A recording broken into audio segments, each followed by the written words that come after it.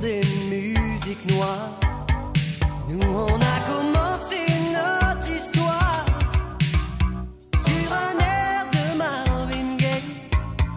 Je lui ai dit que je l'aimais sur des musiques noires. Elle est devenue comme un miroir.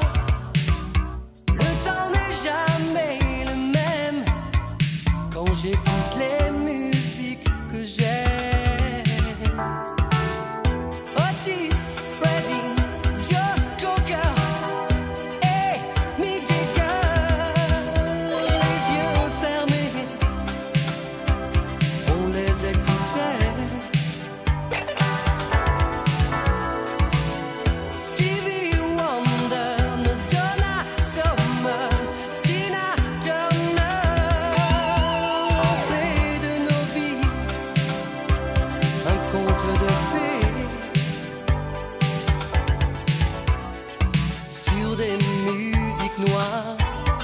dans un studio